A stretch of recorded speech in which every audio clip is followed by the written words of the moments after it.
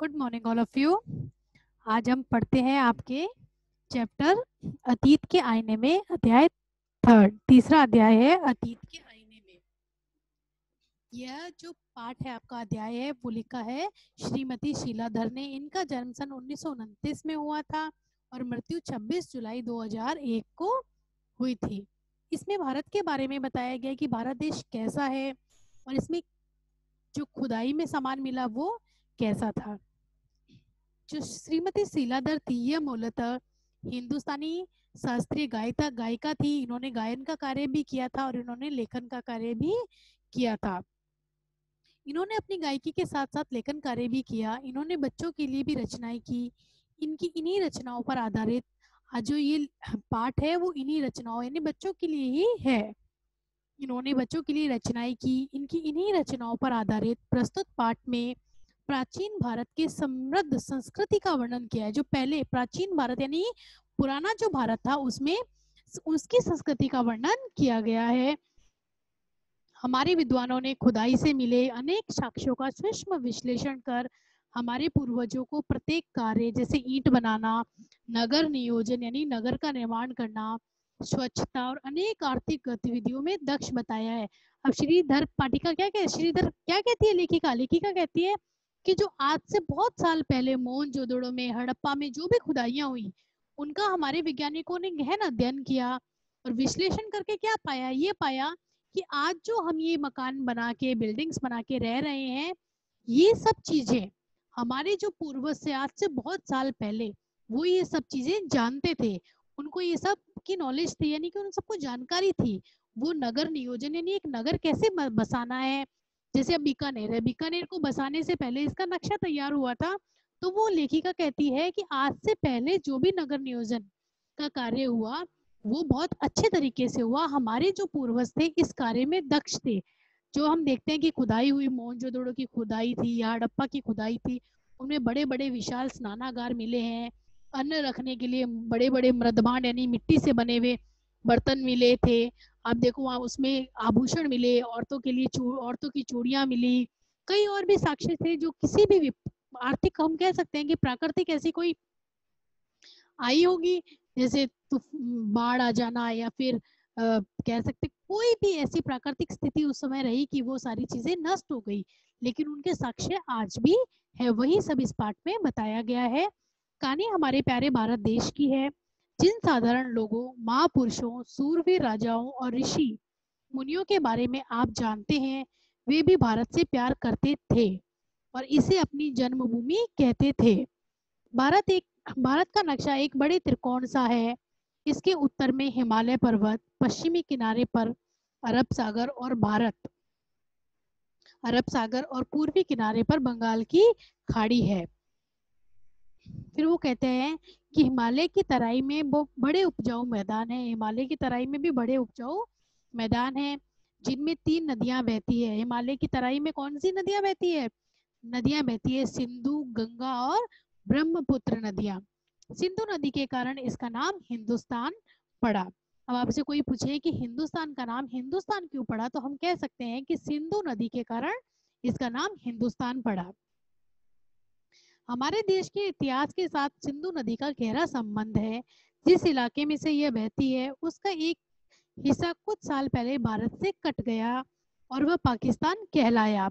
लोग कहते हैं मतलब ऐसा विद्वान, वैज्ञानिकों ने खोजा है और इसके साक्ष्य भी हैं, इसके प्रूफ भी हैं कि जिस इलाके में सिंधु नदी बहती थी, उसका एक कुछ कुछ हिस्सा पहले, कुछ हिस्सा कुछ साल पहले कट गया भारत से कट गया और वो पाकिस्तान कहलाया। देश के मध्य में विंध्य पर्वत है, जो उत्तर भारत को दक्षिण भारत से अलग करता है। यदि आपसे कोई पूछे कि उत्तर भारत को दक्षिण भारत से अलग कौन करता है तो आप कहेंगे कि देश के मध्य में विंध्य पर्वत है, जो उत्तर भारत को दक्षिण भारत से अलग करता है। दक्षिण भारत की बड़ी नदियाँ, नर्मदा, ताप्ती महानदी गोदावरी, कृष्णा और कावेरी है, जो धुर दक्षिण का पतला लंबा कोना कन्याकुमारी कहलाता है और इसे हिंद महासागर छूता है। इन सबको कौन छूता है? हिंद महासागर। क्या कह रहा है लेखक? दोबारा देखो। ध्रुव दक्षिण का पतला लंबा कोना। ध्रुव और दक्षिण का जो पतला सा एक लंबा सा कोना है, वो कन्याकुमारी कहलाता है और कन्याकुमारी को कौन छूता है? हिंद महासागर। जिन दिनों समुद्री जहाज़ आदि नहीं थे उन दिनों भारत में आने का सिर्फ़ एक ही रास्ता था। जिस समय समुद्री जहाज़ इत्यादि नहीं थे, भारत में आने का एक ही रास्ता कौन सा था? उत्तर के पहाड़ों से था। संसार में सबसे ऊँचे हिमालय को पार करना बहुत आसान नहीं था। लेखक लेखिका कहती है कि उस समय उत्तर का जो हिमालय था, उसे पार करना आसान नहीं था। इस पर्वत में छोटे छोटे रास्ते हैं, जिन्हें दर्रे कहते हैं। आप देखो, पहाड़ों के बीच में जो छोटे छोटे रास्ते निकलते हैं, उन्हें हम दर्रे कहते हैं। इन्हीं दर्रों के रास्ते समय समय पर बहुत से लोग भारत आए, अधिकतर व्यापारी इसी रास्ते इसी रास्ते से आते थे। यदि हिमालय नहीं होता, यदि हिमालय नहीं होता तो आज हम भारत, आज हमारे भारत की कहानी कुछ और होती। लेखिका कहती है कि जो भारत, हिमालय के जो छोटे छोटे दर्रे थे, यानी कि रास्ते जो निकल रहे थे, उसी से दूसरे देश के लोग हमारे साथ व्यापार करते। यदि हिमालय नहीं होता तो आज भारत की कहानी कुछ और होती, क्योंकि आप देखो हिमालय जो आक्रमण है, हिमालय दूसरे देशों से होने वाले आक्रमण को भी कहीं ना कहीं भारत को सुरक्षा प्रदान करता है। प्रकृति ने हिमालय और समुद्रों के रूप में हमारे देश को मज़बूत सीमाएँ दी है। जैसे मैंने आपको बताया कि हिमालय कहीं ना कहीं भारत की जो दूसरे देश से होने वाले हमलों से भी हिमालय हमारी रक्षा करता है। तो लेखिका कहती है, कहीं ना कहीं समुद्र और हिमालय हमें मज़बूत सीमाएँ देता है।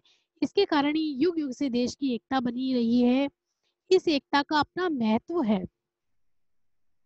क्योंकि भारत एक बहुत बड़ा देश है। यहाँ तरह तरह के प्राकृतिक दृश्य हैं और यहाँ की आबो हवा यानी आबो हवा यानी जलवायु भी अलग अलग है। यहाँ तरह तरह के लोग रहते हैं, जो अलग अलग भाषाएँ बोलते हैं अलग अलग ढंग की पोशाकें पहनते हैं और अलग अलग प्रकार का भोजन करते हैं। फिर लेखिका कहती है कि भारत में बहुत सारे अलग अलग तरह के लोग रहते हैं, जो अलग अलग तरह के, आप भी देखते हो आपके आसपास में अलग अलग तरह के कपड़े पहनने वाले लोग मिलेंगे अलग अलग तरह के खाना खाने वाले लोग भी मिलेंगे। कोई सलवार सूट पहनता है, कोई साड़ी पहनता है, कोई कुछ पहनता है, कोई राजपूती ड्रेस पहनता है तो वो कहता है कि अलग अलग तरह के लोग आपको मिलेंगे।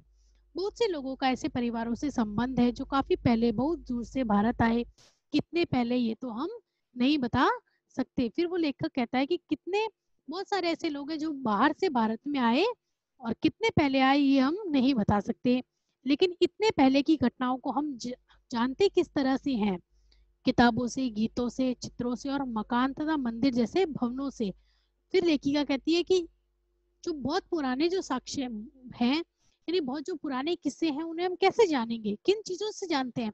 या तो उनके बारे में किताबों में लिखा होगा या उनके मकान मिलेंगे, या हमें चित्रों द्वारा, या हमें गीतों से, यानी जो गीत गाए जाते हैं उनसे, इन सब की मदद से हमें पता चलता है कि उन दिनों बड़े साधारण, उन दिनों बड़े और साधारण लोग किस तरह रहा करते थे। लेकिन आज हम पुराने जमाने के बारे में बहुत सी थोड़ी बातें जानते हैं। लेखिका कहती है कि फिर भी हम थोड़ी बातें पुराने जमाने की जानते हैं। ऐसा इसलिए कि किताबें फट गई। अथवा कीड़ों ने उन्हें खा डाला कि थोड़ी थोड़ी बातें जानते हैं, क्यों थोड़ी जानते हैं? क्योंकि किताबें हैं, फट गई है, साक्ष्य नहीं है। यानी कि जो पहले के जो सबूत थे, वो नष्ट हो चुके हैं। हो सकता है कि उन किताबों को कीड़े खा गए, गीतों को लोग भूल गए, गीत गाना। आप देखो, किसी शादी में जाते तो बुज़ुर्ग सी महिलाएँ होती है, या गाँव में जाओगे तो लोग गीत गा रहे हैं। शहरी जो महिलाएँ हैं, वो गीत भूल गई हैं। तो वो कहती है कि हो सकता है कि भवन टूट फूट गए हो, यहाँ तक कि पत्थरों पर खुदी बातें भी हवा और पानी की रगड़ से मिट गई। एक समय था जब लोगों ने न तो किताबें लिखते थे, न ही मंदिर बनवाते थे, लेकिन जिन बर्तनों का इस्तेमाल करते थे, जिन मकानों में रहते थे, जिन चूड़ियों को वो पहनते थे और जिन नुकीले पत्थरों से वे शिकार करते थे, उन्हें कुछ स्थानों पर ज़मीन के नीचे गड़ा पाया गया।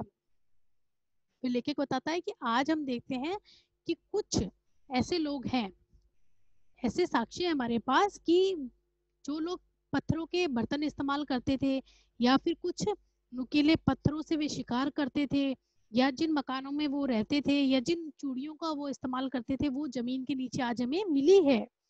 उन पर विचार करके हमारे विद्वान ये कह सकने में समर्थ हैं, उन पर विचार करके यानी उन पर विश्लेषण हुआ है, उन पर वैज्ञानिकों ने खोज की है।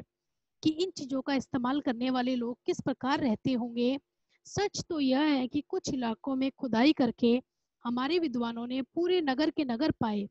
कुछ जगह पे तो पूरे के पूरे नगर जब खुदाई की गई, तब देखा कि पूरे के पूरे नगर वहाँ पर बसे हुए थे। यानी कि नहाने का स्नान घर अलग से बना हुआ था, कमरे अलग से थे, पानी निकलने की योजना अलग से, नालियाँ अलग से बनी हुई थी। जो कभी निश्चय ही बहुत बड़े रहे होंगे और बाढ़ या आग के कारण नष्ट हो गए होंगे। ऐसा एक प्राचीन नगर सिर्फ़ तैतालीस साल पहले सिंध में मिला, जो अब पाकिस्तान का हिस्सा है। इस स्थान के आसपास रहने वाले ग्रामीण इसे बरसों से मोहन जोदड़ो अथवा मृतकों के डूह, यानी कि मिट्टी से बना टीला के नाम से पुकारते आ रहे हैं। लेकिन इस डूह के नीचे डूह, यानी मिट्टी से बना टीला। हम पुकारते आ रहे हैं, लेकिन इस डूह के नीचे छह हज़ार साल पुराना एक नगर मिला, जिसका नाम रखा गया मोहन जोदड़ो। अब लेखक ने बताया कि किस प्रकार मोहन जोदड़ो नग, नाम से एक हमें नगर मिला। मोहन जोदड़ो में जो कुछ भी मिला, उससे पता चलता है कि वहाँ रहने वाले लोग ईंट बनाना जानते थे। हमें जो ले, वैज्ञानिकों ने खोज की कि मोहन जोदड़ो मिला है तो वहाँ पर ये पता चला कि वहाँ के लोगों ने ईंट बनाना भी सीख लिया था, यानी ईंट बनाना जानते थे। जो उनकी नगर योजना थी, वो ईंटों से बनी हुई थी, उनके जो मकान थे, वो ईंटों से बने हुए थे। ईंटों से वे अपने लिए सुंदर मकान बनाते, वे नगरों की योजना बनाना जानते थे। गंदी पानी के लिए, जैसा मैंने आपको बताया कि उस समय जो भी मकान मिले, जो भी नगर मिले, उसमें गंदे पानी के लिए पानी बाहर निकालने के लिए नालियाँ भी बनी थी। नालियाँ बनाकर नगर को साफ़ रखते थे। वे नहाने के लिए बड़े बड़े स्नानागार और रथों तथा बैलगाड़ियों के चलने के लिए चौड़ी चौड़ी सड़कें मोहनजोदड़ो में बड़ी बड़ी सड़कें भी मिली। वे अवश्य ही कुशल कारीगर रहे होंगे क्योंकि नगर में मिट्टी के बने सुंदर बर्तन और तांबे व कांसे के बने हथियार भी पाए गए। वे बर्तनों और मुहरों पर जानवरों तथा देवी देवताओं की आकृतियाँ बनाते थे। इससे हमें मालूम होता है कि वे किन किन जानवरों को जानते थे? अब जब उनकी दीवारों पे देखा गया तो कई जानवरों की तस्वीरें उकेरी गई थी, यानी कि तस्वीरें बनाई गई थी। कई देवी देवताओं की हमें तस्वीरें उनकी दीवारों पर मिली है। तो वो दीवारों पर जो तस्वीरें हैं, वो देख के हम ये जान सकते हैं कि वो किन किन जानवरों को जानते थे और किन किन देवताओं को वो मानते थे। किन किन देवी देवताओं की पूजा करते थे? उनकी लिखावट या लिपि कैसी थी? मनकों से बने गले के हार, सोने व हाथी के दांत के गहने, कि उन्हें सुंदर चीज़ों से प्यार था और वे उन्हें तैयार कर सकते थे। अब आप जब देखेंगे कि वहाँ पर सुंदर गहने बने हुए मिले थे, हाथी दांत से मिले हुए मिले, आभूषण मिले तो हम कह सकते हैं कि उनको आभूषणों का शौक था और उन्हें उन्हें बनाना भी आता था। कपड़े बनाने के लिए वे कपास काम में लाते थे। वे एक देवी और शिव जैसे एक ही देवता की पूजा करते थे। वे लिखना जानते थे हान की, हर और ये भी है कि मोहन जोदड़ो में ऐसे कुछ साक्ष्य मिले हैं जो लिखे हुए मिले हैं। तो हम कह सकते हैं कि वो लिखना जानते थे, लेकिन उस लिपि को आज तक पढ़ा नहीं जा सकता। कहने का तात्पर्य है कि उस भाषा, उनकी भाषा कौन सी थी, वो हमें अभी भी नहीं पता। अब तो सिंध एक सूखा और बंजर प्रदेश है, पर सदा हमेशा ऐसा नहीं था। हज़ारों साल पहले यह एक हरा, भरा और उपजाऊ प्रदेश था। मोहनजोदड़ो की मोरों पर सिंह बाघ गेंडा और हाथी जैसे जानवरों के चित्र थे। इस तरह के जानवर बड़े जंगलों में ही रह सकते हैं। मोहनजोदड़ो की तरह के और भी नगरों का पता चला। सिर्फ़ मोहनजोदड़ो ही नहीं और भी नगर थे जैसे हड़प्पा था।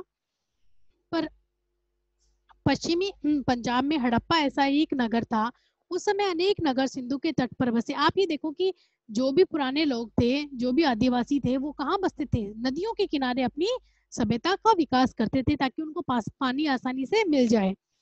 उस समय के अनेक नगर सिंधु नदी के तट पर मिले। इसीलिए उनमें रहने वाले लोग सिंधु नदी नदी, सिंधु घाटी के लोग कहे जाते हैं। परंतु सिंधु घाटी के निवासियों के नगर सिंधु और पंजाब ही नहीं, उससे भी आगे तक बसे हुए थे। वे दक्षिण में ताप्ती नदी के मुआने और उत्तर प्रदेश में मेरठ ज़िले तक फैले हुए थे। ऐसा एक नगर गुजरात के लोथल नगर स्थान पर भी पाया गया है। लोथल में भी ऐसी सभ्यता का विकास पाया गया है। इन नगरों के निवासी काफ़ी दूरस्थ, दूर तक व्यापार करते थे। हो सकता है कि इन नगरों में मिट्टी, तांबे के जो बर्तन मिले हैं, उनके बारे में आप अधिक कुछ सोच नहीं सके। लेकिन क्या आप अंदाज़ा लगा सकते हैं कि आज से छह हज़ार साल पहले खनिज से धातु तैयार करना और मनचाह रूप देना कितना कठिन काम रहा होगा? लेखिका कहती है कि आप ये सोचो कि आज से छह हज़ार साल पहले यदि आभूषण बन रहे हैं, चूड़ी बना रहे हैं तो वो लोगों के लिए कितना मुश्किल रहा होगा? क्योंकि आज के समय में तो टेक्नोलॉजी इतनी बढ़ गई है कि हम कुछ भी आसानी से बना सकते हैं, लेकिन आज से पहले ये सब कितना मुश्किल रहा होगा?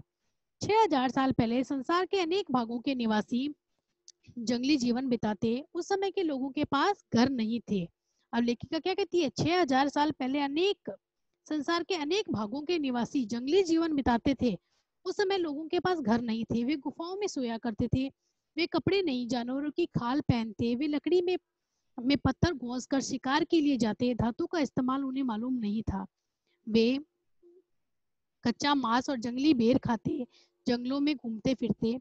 इसीलिए हम गर्व से कह सकते हैं कि हमारे देश के लोग इतने पुराने में भी कुशल कारीगर थे। अब लेखिका क्या कहती है? लेखिका कहती है कि बहुत सारे ऐसे जगह मिले ऐसे बाग हैं, ऐसी जगह मिली है जहाँ के लोग थे क्या आदिवासियों की तरह जीवन बिताते थे? यानी कि उन्हें नहीं पता था कि आभूषण कैसे बनाते हैं, वो कच्चा मांस खाते थे, गुफाओं में रहते थे और जंगलों में जंगली जानवरों के साथ या आदिवासियों की तरह घूमते थे। लेकिन जो हमारे भारतीय जो पूर्वज थे, वो क्या करते थे? जैसे आज हम नगर, हमारे पास सुविधाएँ ज़्यादा है, उनके पास कम थी, लेकिन फिर भी वो नगर बसाकर रहते थे। आभूषणों का उन्हें शौक था, आभूषण बनाने की उन्हें कला थी। उन्हें चित्रकारी आती थी, उन्हें भाषा भी आती थी। तो हम गर्व से कह सकते हैं कि जो हमारे भारतीय पूर्वज थे, वो बहुत समझदार और कुशल कारीगर थे। Thank you